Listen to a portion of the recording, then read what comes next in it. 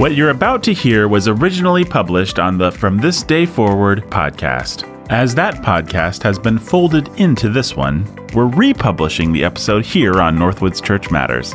We hope you enjoy it and are edified by it. God bless.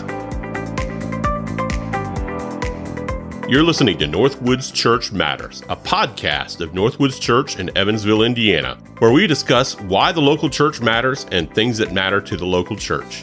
I'm your host, Matt Higgins.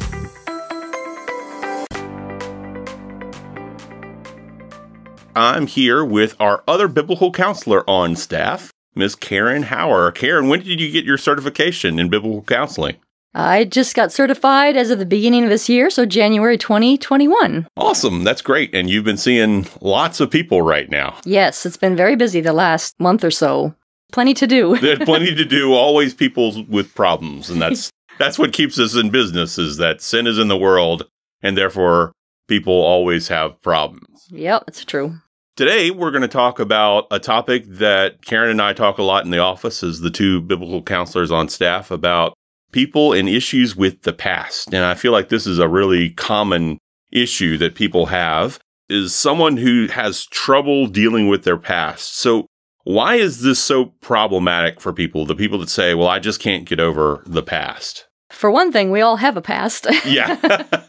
so problems or issues from the past, if we don't deal with them biblically, they don't just go away.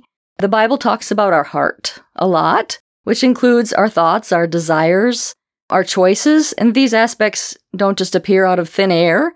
They are molded over time and they have a history. You know, we all have patterns of doing life, and then time goes forward, and maybe the difficult person or situation is in the past and finished, but those effects can be carried in our memories and in our thinking.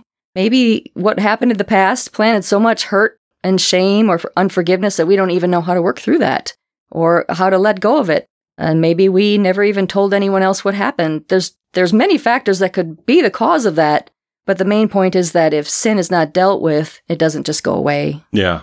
I think one heart attitude that people often have is that memory is a curse. That I, I, can still remember all these bad things that happened and it's just a curse that hangs over me. But I, I really think that if you look at scripture, you know, God intends us and gives us memory for good purposes. I mean, everything that God gives us is good. He could create us like a guinea pig or a gerbil and, and we just suddenly forget everything that we're thinking about. I mean, some days that would really be nice to 20 minutes ago. Some days it would be nice. Think, what am I doing? Although I do say that a lot. but God gives us memories to reinforce the positive. This is a good experience. We went to the beach with the family. We had right. close bonding time. And so those good memories help us reinforce okay, this was a good experience. We should do that again. Right. And then God also gives us negative memories often for a, a good purpose. You're standing in the middle of the street with your friends and you're playing skee ball or stick ball or what have you, and then a car almost runs you over. You, you think twice before playing in the street again. Yeah, it helps you learn as you go forward. Sure. And if we didn't have memory, then we'd do the same things over and over again. We'd kind of be like a mouse that's stuck in a maze and the mouse can't figure out intuitively where to go because it's just running around lost inside this maze. Yeah, that's I mean, a good point. Yeah. Mm-hmm. God gives us memory for good purposes. So, what are some of the past issues that people often have trouble getting over? Uh, there's a lot of possibilities here. I'll just list a few things loss of a loved one, cases of abuse, a season of suffering, difficult relationships, financial losses, an accident, maybe a missed opportunity. There's a lot. And I think this whole thing is going to unveil our heart idol. So, whatever people struggle with often unveils kind of what we think inwardly.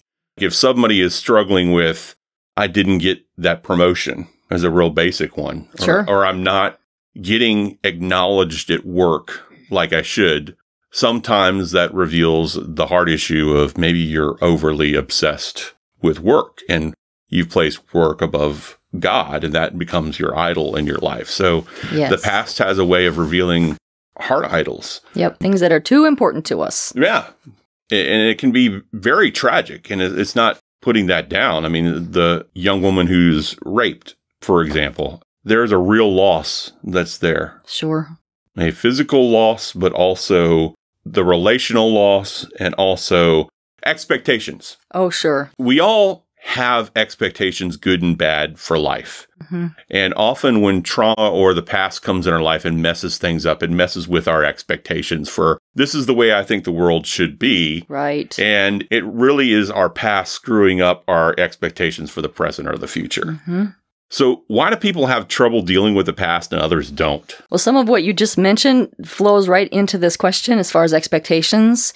And so I think it depends on a lot on how we think about the past, how we think about people, ourselves, the world around us. Romans 8 tells us that we have a choice as to how we think about things. We can set our mind on the flesh or we can set our mind on the spirit. Uh, so a biblical perspective would be subject to God's guidelines, and that would look like forgiveness, trusting God's character, praying for difficult people. Are we willing to do life God's way and trust Him, or are we going to do it our way and then insist on that? Which that could exemplify itself as unforgiveness, bitterness, fear, trying to control other people. I'm not saying that trusting God and doing life His way is always easy, Mm, but I think our thinking and beliefs drive our attitudes and our actions.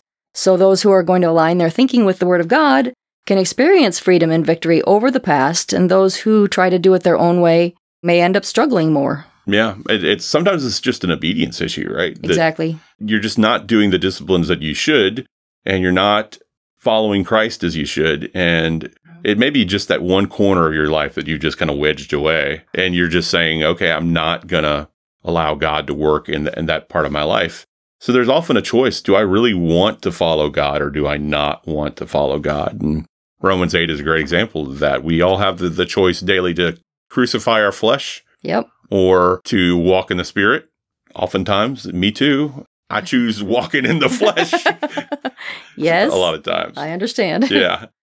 As we go forward with this, I think there's an important distinction between past issues that are caused by our own sin or other sin, or there's just past issues that are generated by general brokenness from living in a broken world.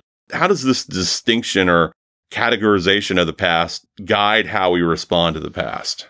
Yeah, I think that's a very important distinction whether we are more of an innocent party or whether we are guilty. If I am guilty, something in the past I've done, my sin requires that I ask forgiveness of God and I repent. So, and the other part of that too is I can actually lean on and depend on God's promise of forgiveness instead of wondering, does he ever forgive me for this? And the other side of it is if I was innocent and something happened, you know, like you said, the world is very broken. In these instances, I would have less control or choice involved, but I can learn to face it honestly and biblically. That may involve trusting God even when I don't understand why. Hmm.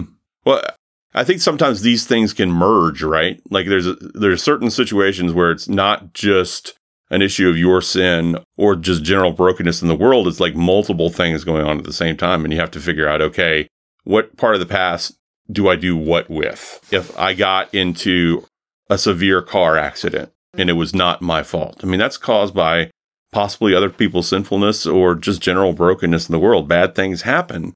But th- then if I'm severely injured from that and I start getting angry with my wife or lashing out at my kids or making poor life choices based on the fact that I had this accident, now I'm on top of the fact that I've been sinned against.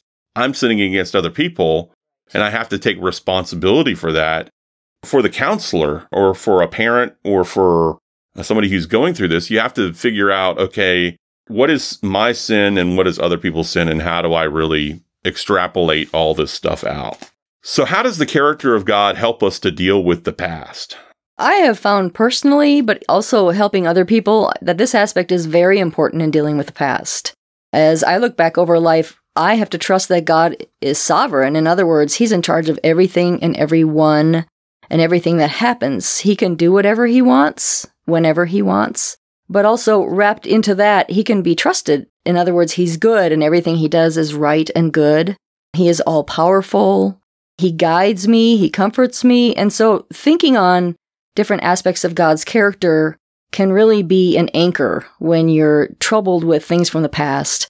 I also think about Romans 8:28 that everything that has happened to me has come through God's filter, through his caring and loving hands. The world is broken. It's full of broken people and evil. And although God does not wish bad things to happen to me, he may allow situations so that I one learn to depend on him more and two so I have opportunity to become more like Jesus his son. If we never had difficult things happen, I think we would never be reminded to run to him. And that Romans 8:28 part is it's hard, right? It is. I mean, it, especially somebody who's experienced real deep trauma, that theological truth of Romans 8:28 is nonetheless true, but trying to help people see that can be really difficult in that circumstance. That's challenging. It's challenging. They've got all that hurt. There's an illustration that I've gotten from the book Gentle and Lowly. I keep talking about this on the podcast because it's just a great book. I'm going to have to read that book. It's it's fantastic, but it's talking about the character of God and how sinners can come to him and I extrapolated this illustration and I've used it in counseling that I think the worst thing in the world is dog vomit. there's there's like nothing worse than dog vomit. Like in in my dog in particular, we have hardwood floors in the house and then we have a carpet. 10 out of 10 times my dog will want to barf on the carpet, which is just yeah, it's just, it's just gross. and it's one of those things where you know, I'm going to clean it up, but I don't like doing it. And I don't like the person that made the mess very much. I mean, it makes me angry, but I, it's just a situation I have to fix because I'm responsible. Right. And oftentimes we think of God like that. God is responsible for us, but what we do makes him severely angry, and it's a chore for him to help us clean up our lives. Ah. But God really isn't like that. The character of God is that he wants us to approach the throne of grace with confidence, as it talks about in Hebrews 4. He wants to have a relationship with us. He wants us to come to him with problems in a very fatherly way. And I think a lot of people with past issues, they really think of themselves as really reminiscent of dog vomit. Like they are the thing that is really hard to clean up, and God doesn't really want to touch them or associate yes. with them. That's definitely not true. And I think that's good about the character of God. So, if we are in Christ, how does Jesus deal with our past? So, the fact that Jesus came to earth, lived a perfect life, died on the cross, and rose again to show that he had power over sin and death is great news for beginning our relationship with him, but also there's something that us counselors talk about the sustaining gospel, which is the same message but applied to everyday life. So when we're dealing with the past, thinking about how Jesus can help us do what we are unable to do, he can, for one, forgive our personal sin if we have been guilty in the past. And so he asks us to repent and he forgives us. He can heal our hurts. That is, there's a process involved in that, but he very much wants to heal he can heal relationships. He can help us find new ways of thinking about the past, both circumstances and people. He makes his uh, mercy and grace, love and peace, and many other things available to us personally. I think of Isaiah 61, and I'd like to read just the first few verses because it's a great description of part of what Jesus' job description is for us. Yeah. And I think it's beautiful. It says, The Spirit of the Lord God is upon me because the Lord has anointed me to bring good news to the poor. He has sent me to bind up the broken-hearted, to proclaim liberty to the captives, and the opening of the prison to those who are bound, to proclaim the year of the Lord's favor, and the day of vengeance of our God, to comfort all who mourn, to grant to those who mourn in Zion, to give them a beautiful headdress instead of ashes, the oil of gladness instead of mourning, the garment of praise instead of a faint spirit, that they may be called oaks of righteousness, the planting of the Lord, that he may be glorified. Just that trade where we can trade in our past, our troubles, and he replaces it with beautiful things. Mm, that's awesome. And I think one of the things that's interesting about that passage that's good to remember is that was the last verse say that the Lord may be glorified, right? Yes. And so when God helps sinners, he is glorified if you have past issues, it's not for you to just dump those out. It's for you to run to God with those things because God wants to help you. And I think that verse is just a great proof of, of what we were just talking about. God is glorified when he helps people. When you keep your problems and your past to yourself, for one, you're not acknowledging a theological reality that God knows about all your problems already. Right? Yeah, and you can't hide those from him. so why try to hide them? But God is glorified when you approach the throne of grace with confidence and you come to him in, in your hour of need and you present all those things to him that he needs to fix because he's a loving father and he cares for you. Right. Yeah, exactly. Who are some biblical characters that had past issues and how are they able to overcome their past issues? So I chose two, one from the Old Testament, one from the New. So Joseph has a great story in the book of Genesis. Mm. His past issues were hurtful and abusive people, very unfair circumstances. He was sold into slavery by his brothers. He was falsely accused by his employer's wife. He was forgotten in prison by someone who promised to ask for his release. The key, I think, to his great attitude is found in Genesis 50, verse 20, where he says that people had intended to harm him, but God had a plan and was using his life for good. So there again, we see God's sovereignty. And Joseph trusted God to care for him no matter what happened. Hmm. Uh, I also can notice in his story that Joseph continued to do what was right, even in the middle of really tough circumstances. He knew that God was ultimately in charge, even in his suffering, Mm. and he forgave the people who had hurt him. Yeah. Just because the Bible says something is true doesn't mean it's easy. Right. What we've talked about with Romans 8:28 and the story of Joseph that what people intended for evil God meant for good, that's a hard thing sometimes, especially when you've got death or assault or abuse or rape or really mm-hmm. difficult things. The challenge of counseling often is to try to teach people truth of scripture, but also be caring while we do that. We don't just want to throw out those niceties that somebody walks into the counseling office for the first time and says, you know, I've been sexually assaulted or I've been molested as a child and say, well, God's going to use that for good. That doesn't seem caring to just it- throw that not- out there. no, it's not caring. It seems like cheap advice, really. I mean, Yes. I think about peanuts and you know Lucy, twenty five cents the the counselor's end. That's Yes. the type of thing that that Lucy would say. um, but yeah, I think Joseph is a great example of that. His stuff was real. It's not just a nice story. I mean, he was in jail for a long time, and his family put him there. Just the grudges that he should have held against them. He had a lot of time, I'm sure, to think about those things. Oh, yeah. Wrestle, wrestle with those things. Yeah, it wasn't like jail today where they get to watch the cooking channel or, or whatever they do. nope. The second example was Zacchaeus. So we find him in the New Testament. He was a tax collector, which means he probably cheated people out of their money. Back in those days, tax collectors were known by the people to be liars and cheats. But one day he saw Jesus and followed him to see what was going on, and Jesus ended up coming to his house that day to eat dinner. So after Zacchaeus was with Jesus, he becomes very aware of his sin and he repents. His life changed that very day because he immediately made plans to repay the people that he had cheated. He wanted to do life differently in that he wanted to give instead of take. Hmm. So here, this character is more about his guilty past and what he decides to do, where, where Joseph, you see more of an innocent, things happen to someone who is more innocent. Yeah.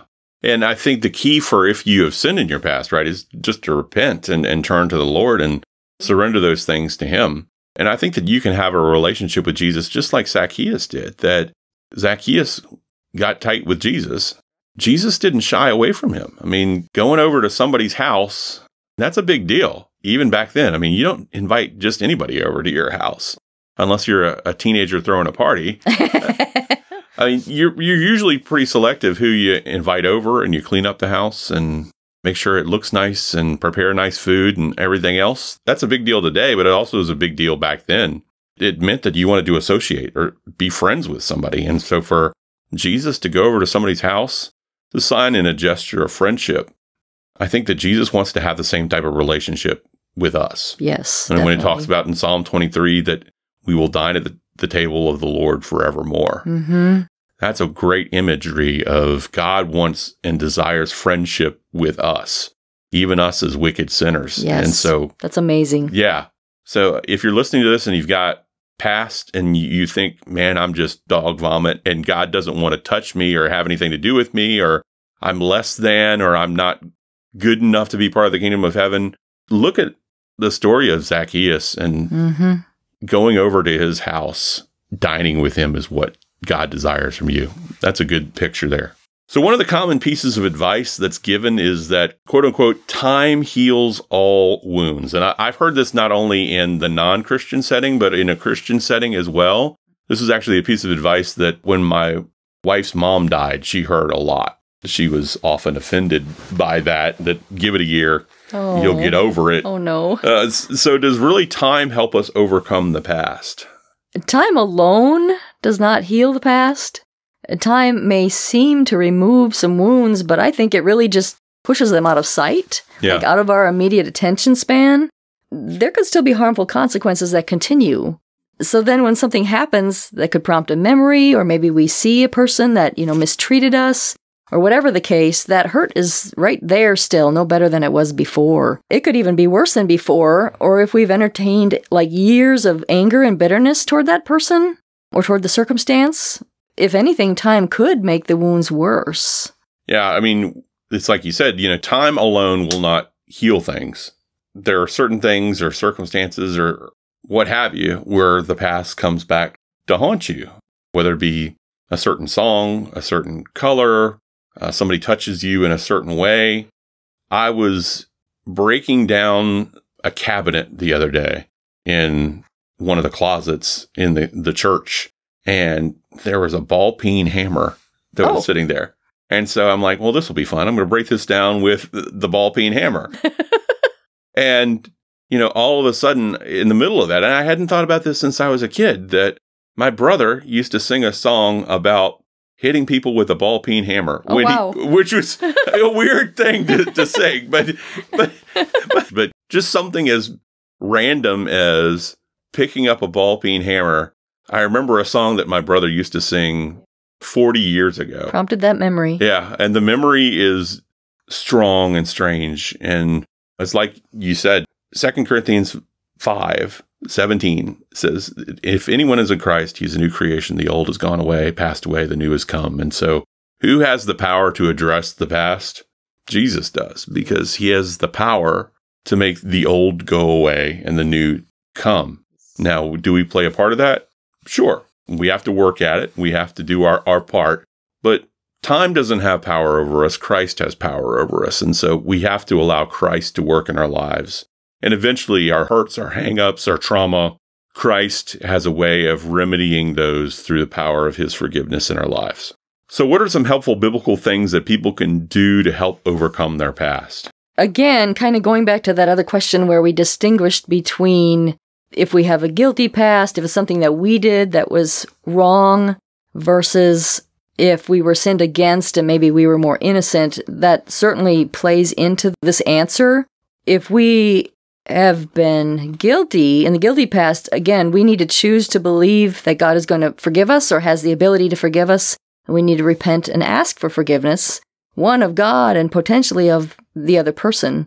But then also thinking about if you were innocent, and sinned against, there are things to do too. Forgive the perpetrator, you know, meditate on God's character, just trusting God in general, understanding if we have any sin like unforgiveness or bitterness, that that hurts our relationship with God and with other people, so that may need to be addressed as well. Yeah, the past can often be complicated because yes. there's a lot of heart work that needs to be done in a lot of different areas in the case of if you you've sinned against somebody, then you yeah you've got to go and you've got to ask for forgiveness in, mm-hmm. in somebody's life. But then there may be people that have sinned against you, and you need to work on forgiving them. Right. And then unfortunately, there's a lot of the world that things just happen because the world is broken. There's a, a miscarriage that's happened in a woman's life, or a child gets ill, or a tornado happens and you you lose your home. Right. Or somebody sets fire to your business i mean which is a real instance that has happened in in evansville. That's hard. That's very hard. It's very hard to, to deal with that circumstance. I, I think out of all those scenarios that we've talked about somebody has sinned against you or you sinned against somebody the remedies for those are pretty clear either you need to go forgive somebody or you need to grant forgiveness to somebody. I mean, that's the remedy for those two ultimately. But when you're dealing about with just general sin in the world, that's a lot harder it to is. deal with and and to contemplate why God allows broken things in a broken world, that's harder to, to understand and harder to deal with. And sometimes people just never get past that and never get over that. But our heart attitude needs to be like Joseph that regardless of what comes, if we are in Christ, he is doing all things and working all things together for his glory and his good for the glory of his name. We're just a small part of that. And one day when we're in heaven, we'll see all that. But to try to combine that verse and process that verse with real life experience is probably the most difficult step if you're dealing with the past. Yeah, that can be a lot to wrestle through. And I think a lot of times we're limited by our perspective and we assign truth to the world or truth to God according to what we understand. And that's very limited. Yeah. Or we assign emotion to God because of things that we've gone through. Like we assume that God hates us because a tornado has happened. That isn't true. And that's really difficult to deal with. So, what would you do with somebody who has that type of issue with generally the world being broken? I mean, how, how do we counsel that person well? I think, of course, always going to God's word for instruction. I think of Job, you know, Job who loved God and hated evil and lived a godly life, but a lot of bad things happened to him. So I think one of the first things I would do is look a lot at God's character mm. and understanding who he is and his attitude towards us, which you've mentioned already, as far as he loves to help us. He has a father heart toward us. He cares, cares about every detail of our life, and just really focus on learning more about that and meditating on that and then trusting him, even though the world is a mess. Mm-hmm. I mean, that's preparation for future things that can happen too, because we need to be in that relationship, following him and trusting him for going forward because tough things will happen again more than likely. There's a weird little story in the New Testament where some people come up to Jesus and ask the question a building fell on some people. People came up to Jesus and they asked him, So did that building fall on the people because they sinned? And Jesus said, No, absolutely not. It's it's not because they sinned or previous generation sinned or anything like mm-hmm. that. It's some things just happen in the world just due to general sinfulness. Yeah. And, you know, one day, and our, our hope is that God will rescue the world from that and rescue the world out of that. I think having the hope of heaven. Yes. That God is not going to leave us here in this state helps a lot. Yes, it sure does. we have that hope to look forward to. Yeah. Yeah. And I think part of the challenge is helping people get out of their own head or they're out of their own circumstances and see that there is hope that is in Christ, that your Father in heaven is not the way that you think that He is. He is making all things new right now, including you and your life. And there'll be a day where all things are really made new, and that's going to be a really great day. Yes, it will be.